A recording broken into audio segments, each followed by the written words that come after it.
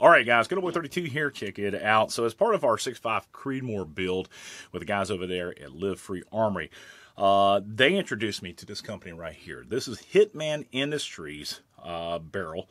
And I'm going to tell you something. Uh, I've been pretty impressed with this. I've already scoped it out, and it looks good. Now, let's just go over some of the details. It is 416 stainless steel, and I know it's good steel because it's been sitting out in my shop, and, and we have not seen any type of rust on these things. On occasion, I've gotten some so-called 416 stainless steel, and the carbon content is so high that you'll get pitted and rusted elements inside the barrel. This is not. Uh, from front to back, it is a 22-inch barrel. We've got a beautiful crown right there. Uh, spiraling on it is really neat. Now, I'm usually not a fan of fluting or spiraling or anything else. It, to me, it, it, looks cool, but does it add anything as far as rigidity or stability to the barrel? We're going to find out. But moving back, you got a dimple set right there. We do have a gas block. Now, this guy right here, this is a 936 uh, gas block spacing bar right here. Nice little gas hole. But look at that spiraling. It does look very nice. Really cool. Now, Here's the thing that just is kind of intriguing to me, and I want you guys to see that.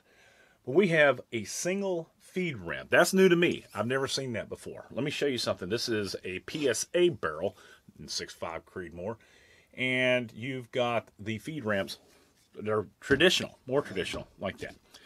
So anyway, uh, one of the things, 22-inch barrel, this guy, this guy, if I can get it to sit here, the weight of this fella is four pounds seven ounces. And if you take it in for a more traditional round barrel this barrel is three pounds 9.4 ounces but i think this guy's an 18 inch barrel.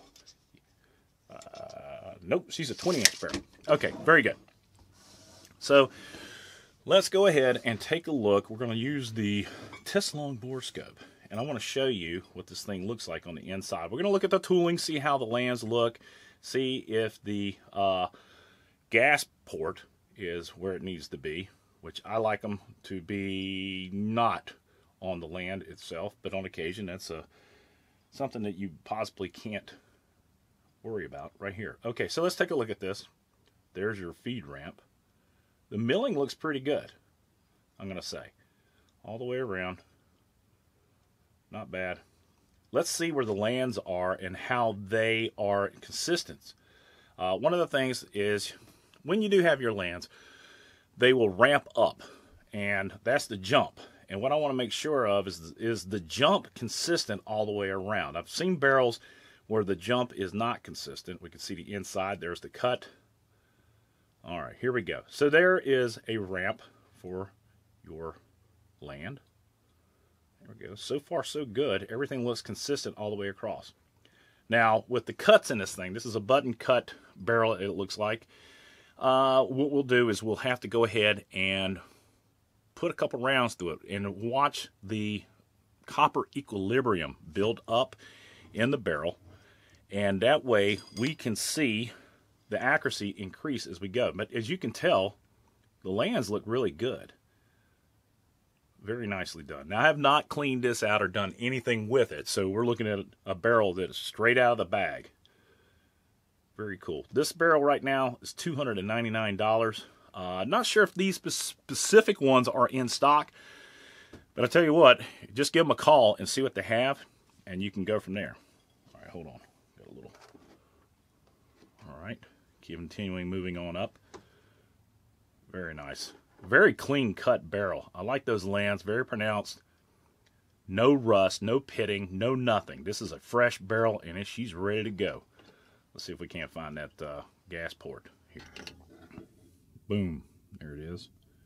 Ah, okay. So in this barrel, we see that the uh, gas port is not on the land.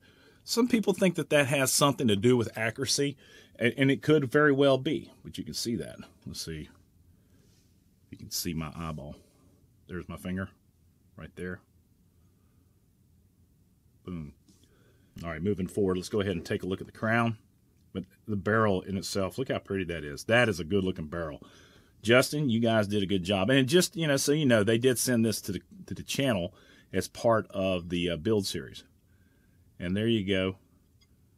good looking. Oh yeah, what was that?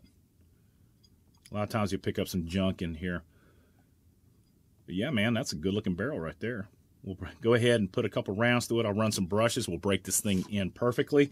But that's it, guys. Um, the 6.5 Creedmoor barrel. Hitman Industries.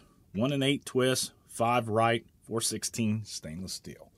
Not bad, Justin. I'm looking forward to putting this thing together. Let's get this rifle build started and we'll rock out. Kota Boy 32, if you like the video, please give it a thumbs up. Subscribe if you haven't already done so. Support the red, white, and blue. God bless America. God bless those men, women in uniform 24 7 for our freedom. Freedom comes fluted at about a thousand yards. I'm out here. Y'all be good.